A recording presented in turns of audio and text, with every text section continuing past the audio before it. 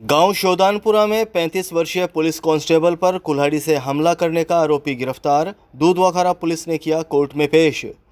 चूरू के गाँव शोदानपुरा में 35 वर्षीय पुलिस कांस्टेबल पर कुल्हाड़ी से हमला कर गंभीर घायल करने के मामले में दूधवाखारा पुलिस ने आरोपी युवक को गिरफ़्तार कर लिया है। पुलिस ने आरोपी अशोक कुमार महिला को हड़ियाल गाँव के पास से गिरफ़्तार किया, जिसे कोर्ट में पेश किया गया है। 25 जून 2024 को गाँव शोदानपुरा में खेत से अपने घर लौट रहे कांस्टेबल रणजीत गेट पर आरोपी ने कुल्हाड़ी से ताबड़तोड़ वार कर दिए थे। हमले में पुलिस जवान के सिर, कंधे, आँख के पास और हाथ में गंभीर चोटें आई। कुल्हाड़ी से सिर में चोट लगने से रणजीत सिंह ज़मीन पर गिर गया था।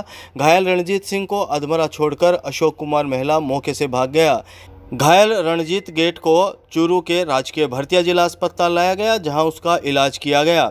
एएसआई सुरेश कुमार ने बताया कि जानलेवा हमला मामले में आरोपी अशोक कुमार की तलाश की गई, जिसे दबिश देकर गिरफ़्तार किया गया है।